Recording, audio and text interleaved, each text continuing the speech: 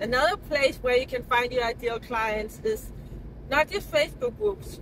Everybody says Facebook groups, but think about a, a specific tool that your ideal client may use, like um, Kajabi or um, some kind of a CRM tool. Many of these um, uh, tools they have their own Facebook groups.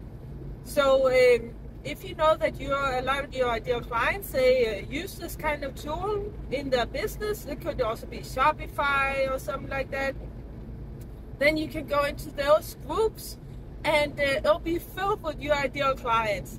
Sometimes these groups they they um, are paid. You have to pay to get in, but it's really worth it because you'll find uh, your ideal client in there, and it's going to be very high uh, quality leads that you get in there.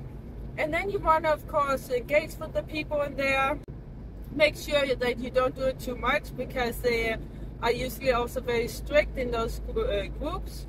So they're gonna kick you out if if you try to just um, spam everybody. So do it uh, in an ethical way. Always do it in an ethical way, of course. Um, engage with people.